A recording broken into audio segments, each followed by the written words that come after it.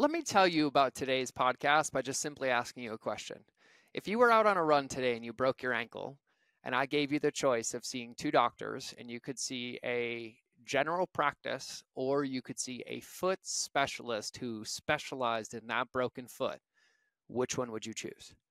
And I guarantee you that you would choose the specialist. But when it comes to us and mastering the game of entrepreneurship, most of the time, we don't. And in today's episode, I tell you how to, how to master it, and how to choose it so that you can treat the right symptom with the right thing to get the results that you're looking for. All that and more. Sorry, that sounded like a really cheesy infomercial. I tried, I couldn't do it. Let's just stop all that and get into the episode because it's a good one.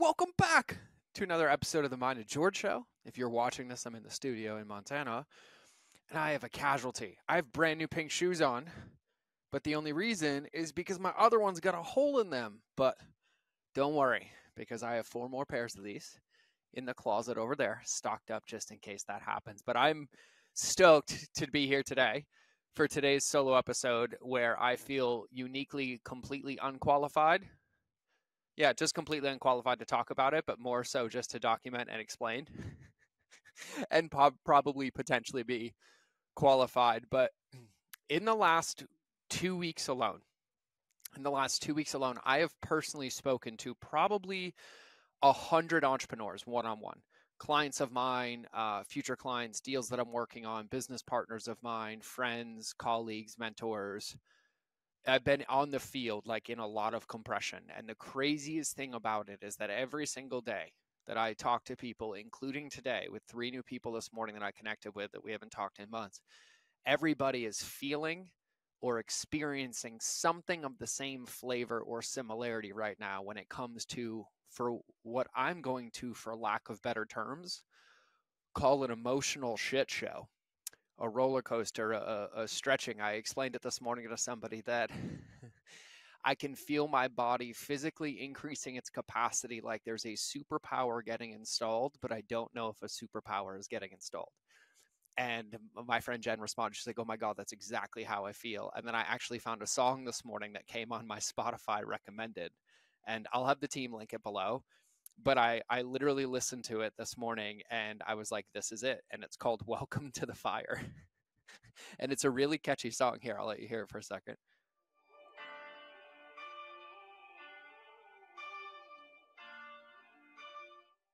Right up my alley, preachery focused. Welcome to the fire. I'm focused. I've been watching for the omens. I've been listening to everything you said. Blah, blah, blah. Really, really landed. And I'm bringing this up because this has been a very vital lesson to me. And I've been quoting myself lately and saying that, you know, my emotions are a path to my success. Uh, every trigger is a stone that once I unturn it is fixed. But it's something that I've said for years, that I've worked towards for years, but I never truly understood. And then even for the last three days, I've been in an emotional slump to the point where I've had to really, really take today's episode and put it into practice to really get to the root because one of the things that I also realized and remember is like the deeper into this game we go and the more work we do, sometimes the lessons in between uh, take longer or the stones are harder to find to unturn or sometimes they come overwhelmingly because the amount of pressure and noise that we have the market our business the world.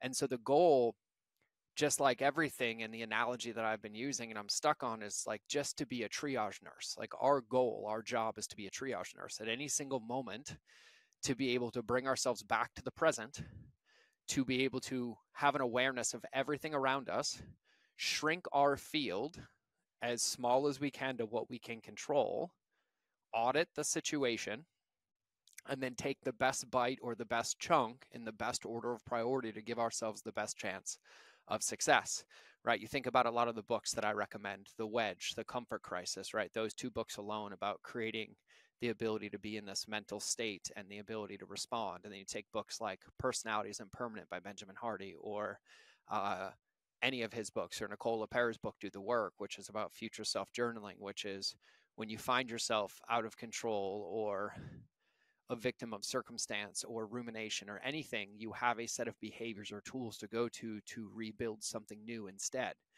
Right. But it really comes down to this level of like emotional mastery. And it's interesting for me because there's things in business today that trigger me that didn't trigger me three years ago or four years ago. And there's things that used to trigger me that I could never look at. Like I couldn't go listen to audio messages or I couldn't um, log into the bank account or I couldn't send specific invoices because it meant I had to log into places. And my relationship with those things, just like everything in my life and business, have changed. I've grown as a person. Entrepreneurship's helped, but the emotions, the paradigm, the belief doesn't go away. And so we still have to work on it and have awareness of it. And one of the things that Ashley and I, our incredible CEO, who you know, have been working on behind the scenes with ourselves and in our life with a lot of our clients this has been coming up constantly and we get asked a ton and, and we've all been kind of collectively sharing ideas and we all realize that we all kind of operate the same and the first time i ever heard this concept was from my dear friend brian bogert uh, brian's been on the podcast uh, he is an incredible brother an incredible man and he is one of the most incredible human beings. But i'll never forget he was giving a talk at one of our events and he was talking about um, weeding the garden um, and having a trigger map and understanding your emotions and the differences and what triggers you so that you can build in a response. And it's no different if you think about our life and our relationship with ourselves, our mindset, our business, our everything um, in the lens of like medication. It's like you can go to the doctor and be like, hey, this doesn't feel good and they can give you a specific like ibuprofen that might catch everything but you don't really know if it's working or not working you're just kind of hoping and praying or you can go give them some specific symptoms and or self-diagnose and then allow yourself to choose a course of action based on that symptom which gives you a much better chance of success. And that's what today's episode is about is that relationship with your emotions right? So just to set some context if you haven't listened to our podcast on the sos model right or the sos method this is a model that i made for myself because i realized about three years ago that I was coming into the office, I was in the business, I was in my life, but I was more of a victim of it than I was in control of it. And I would be going in my day, but then something would trigger me and I would completely get off the rails. So I created the SOS model, right? So you need to go listen to that podcast. It'll be linked in the show notes below. But in that model, we created a model with a, a section called inner tools, inner circle, and outer circle. Okay. But all I'm going to talk about today is most likely the inner tools and the inner circle. So, just for a reminder, the inner tools were anything that you can do within like five minutes of a moment by yourself that help reset or state change yourself, right? So, think dancing, going for a walk outside, uh, breath work, listening to a song. Um, God, taking a nap, meditating, um, going to play with your kids, going barefoot, doing an ice bath, doing breath work, like anything that you can do to state change yourself to when you have a trigger or something going on that you can get back into your body, get back in your emotions, and back into that triage seat, right? And then the inner circle is a group of up to nine people. And these are people that hold you accountable to your potential without f- believing your story and feelings, but help remind you to get back on that path and out of rumination, right? So, in that, that model, that model is a general prescription. That is like an ibuprofen model. But I'm going to call out a few sections in between it specifically, and Ashley gave some examples. But within that section, for me particularly, in my inner tools, music is one of my greatest resets, right? It helps me every time. I don't know why. I don't listen to a lot of music, but when I find music that resonates with me, it resonates deeply. And so now inside of my Spotify, I have a couple of different playlists, but I have one playlist that's called Mind State Change Short and Mind State Change Long. and the Mind State Change Short is three of the most powerful songs that I have that change my state of mind. Mind State Change Long is an hour of the most powerful songs that I have that help change my mind. Then I have a playlist called Self Love Short and one called Self Long Long or self love long. And then I have one called physical short and physical long. And so I basically have one for each area of my life where I get triggered or where I struggle. And so, yes, if I'm out and about and something bad goes on, I'll drop on a normal song and hit ibuprofen. But if I have this constant feeling coming up or this anxiety coming up, then I have a tool in place to go sit with it to help root it and get to the bottom of it so I can try to get to the symptom and eradicate it or put something into place rather than just put a blanket over it. And the example that Ashley used when she was sending notes, hers would be like overwhelmed versus anxious versus sad. And for her, just like for me, when she's overwhelmed versus when she's anxious, she has different tools for each of them, as do I. So for Ash, the music that she listens to when she's sad isn't the same music that she listens to when she's anxious. It's about different frequency bromi programming for her brain, right? And so you can think about any of these tools that you have, playlist, books, journal prompts, people, things like that, with the examples that I gave earlier. But this is so important because what you're doing is you're giving yourself the right dose of medication based on the symptom based on that moment, which allows you to bring yourself to current state and be like, oh, here it is again. Let me map it out. But what we have to understand is that this is a game where we don't get to stop playing in the garden. And by you don't get to stop playing in the garden, what I mean by that is just like if you have a garden in a season, you spend time getting it ready for that season, you plant it, but once you plant it, you water it, but then you pull weeds out and you go check it. Sometimes you unplant, replant, and then you get it ready again and our relationship with our emotions especially in the context of our business change quite frequently and and what this becomes a game of is it becomes a fast game of like the ultimate self-awareness so that you basically get to sit in that triage seat and operate like pong. You're like oh trigger response trigger response trigger response trigger response. And mapping these things down to the bottom will help you create relief. And it, it, it's really really about remembering that no matter what, we're going to get emotions, we're going to get triggered. Some of them are going to be hard, some of them are going to be easy, some of it's going to be old stuff, some of it's going to be new stuff. But regardless, at some point, we're going to have to hit the finish line of allowing that trigger to overwhelm us and drive our vehicle. And we're going to have to pause, stop, and say, okay, what is it that I want to do? And what is it that if I do this will help me in the future and mitigate this in the future? And we're going to have to act on it. And so, no matter which way we slice it, there's no way to run from this. And the fastest path is in, right? Like, I feel annoying to myself a lot of the times listening to some of the things I say and reading my own fortune cookies, but we're surrounded by this over and over and over. And I think all too often I forget about the fact that life is beautiful and existence is beautiful. And I have everything I've ever wanted my kids, my family, my friends, my happiness, like the happiest I've ever been. And typically, when I'm overwhelmed, it's because something is clouding my vision to allow me to not see that, to, to not remember that, to not focus on that. And, and I was sitting yesterday on the couch with Branson, and we were just laughing about something and i don't remember what it was but something just had me close my eyes and i took a breath and in that moment in breath i felt like i existed forever. I was in an eternity. My son was laying on my chest.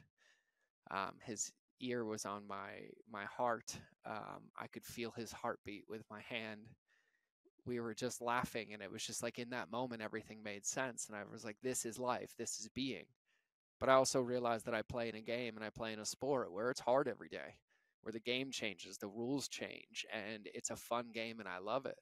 But that game has consequences and residue, and sometimes it gets so cloudy that it doesn't allow me to remember who I am or why I'm doing this. And these tools and these things that we do to run aggressively towards growing and eradicating these things and being a triage nurse are the things that make the difference. It's the extra two reps in the gym when no one's looking. It's taking the time to clean up the office when you leave so it's better when you get in the next day. It's all these little things that we know, that we see, that we feel, and it's the times that we choose to do them and keep doing them with this awareness that makes it such a big difference. But what you'll start to find is that the deeper you dig in this, when you use these tools, right? Let's take breath work for an example. Let's say breath work is one of your tools but you realize that you go to the same specific breath work every time you have a feeling. And so maybe you pick a breath work like Wim Hof when you're feeling low on energy and you want to get some energy, but then you go do Lucas Mack breathing or um, Zach Halford, who was on our show, which we have an incredible breath work. Zach's episode just released. You go do the breath work that Zach had us go through when you're sad because it helps you get into your body. And what you want to do is you want to start identifying these areas and giving yourself specific tools because what you're really doing is you're designing a toolbox so that when you're running, when you're out in the world, in your business, in your life, and you get a flat tire, because inevitably you're going to get a flat tire, that you have this toolbox in front of you that says, oh, I got a flat. I don't need to change the whole thing. I'm just having a little anxiety and I have a breath work tool. Let me go grab that one and it'll plug the hole before you have to change the spare. And so, what you do is you build in these protective measures for yourself, knowing that your best place is in your zone of power, in your genius, in your queen bee role, as Mike Michalowicz calls it, in your heart, right? Clear in your vision, clear on your why. But that place isn't the place that exists 24 7 around us, but it's the place that we have to operate from, that we have to come from, that we have to create from, that we have to lead from, that we have to serve from, that gives us the best results. And if you're listening to this, you know exactly what I'm talking about and you know the exact feeling that I'm talking about. And so taking the time to build these tools to allow yourself what I just call mastery of self awareness or triage nurse. Like, I don't feel like I'm ever going to master myself. It's more so having a relationship with myself knowing that I'm an athlete or I'm a player in a game, and regardless, no matter how I feel, it's like my health in a video game. And it's like I have four health buckets I have my mindset bucket, my physical bucket, my emotional bucket, and like my business bucket. And each one of them can be up to 100 every day. And sometimes it's 20, 10, 80, 40. Sometimes it's 90, 90, 90, 90. But regardless, every day it's my job to look at the strength of that player, myself, in the mirror and say, okay, here's what I got today. What can I push? What can I get out of this? How can I get the most out of this while also protecting it for tomorrow? And I think that that's the most important thing because I think as you look at this, you'll understand that no matter how many times I try to convince myself that I just need time to rest on the couch and I watch Netflix for two hours, like that doesn't make me feel better, right? Or I have to understand that this is a game. And then this game has a resource that is not coming back, which is time. And every one of those moments are moments for me to grab. And in each moment, it's not about what I did or didn't grab before. It's just what I'm choosing to grab next and celebrating every one of them, making positive choices and navigating this game because I'm not going to stop being an entrepreneur. I'm not going to stop serving people. I'm not going to help stop helping people. I'm not going to stop working on the internet. And so, no matter what, all this noise is going to be here. So, we might as well get to work on mapping ourselves as the player on the field and allow ourselves the best chance to win. And so, I would highly recommend you check out the people I mentioned today's podcast. Brian Bogert, love you, brother. Go check him out everywhere. You'll find him everywhere. Um, the books I recommended, I highly recommend. Uh, breath work, go listen to our podcast with Zach Helford um, on breath, all the parts of that go listen to our episode on the SOS. But most importantly, make your own model here, make your own prescription. Just find one symptom that's coming up and make yourself a specific prescription for that one symptom so that when it comes up again, you have a new thing to give it to eradicate it and keep working on it. And whatever that is for you, it could be in your environment, it could be pictures that you have, it could be backgrounds on your computer. For me, one easy hack is on my iPhone which if you're not watching this on video, I'm holding my phone up, but on the Apple iPhone, you know, if you press and hold, you can have custom backgrounds for your home screen. And so I'm scrolling through mine right now, but I have three specific ones set up depending on how I feel that day. And so I have one that is plain pink, nothing on it but the time. And this is the background that I use when I am like in my flow state. Like when I feel the best, when I feel ground, when I feel clear, when I just need space and I want space, this is the background I use is the plain pink. Then I have one that is a different shade of pink that has an affirmation on it that I read to myself hundreds of times a day. And as scary as this is to read this to you, I will read this to you. I, George Bryant, hereby sever and release any vows of poverty, self denial, self sacrifice, or chastity that I may have, have made in any lifetime, and I ask that all effects of those vows be forever undone in all directions of time for everyone involved. And so I'm sure you can tell that when I get into scarcity or rumination or thinking about my childhood or places that I have worked to get out of, I change my background to my phone like that. And then I read that until it goes away.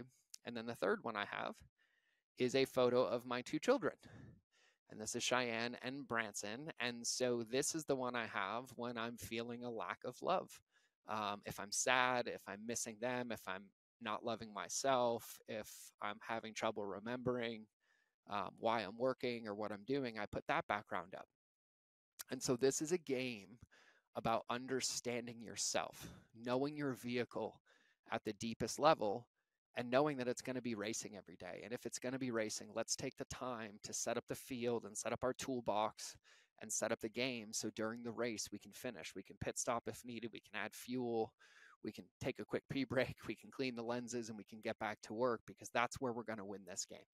And so that's what I got for you on today's episode. So, like always, I have the utmost gratitude for you for those that saw my new pink shoes. I hope you love them. I like them. They're bright pink, they make me happy. I am about to wrap this episode and go get another physical workout in and get back to work on some of this amazing customer journey stuff I'm working on. So this is how I'm going to wrap today's show. I can't wait to see you in the next episode, hear you in the next episode, no, or you hear me. God, it would kind of be cool if we could do this with a live studio audience. That's my dream one day, just for the record, to kill Tony, this podcast, to have this dope spot where everybody can come. But I'm not as funny as Kill Tony, so I don't think it's going to work.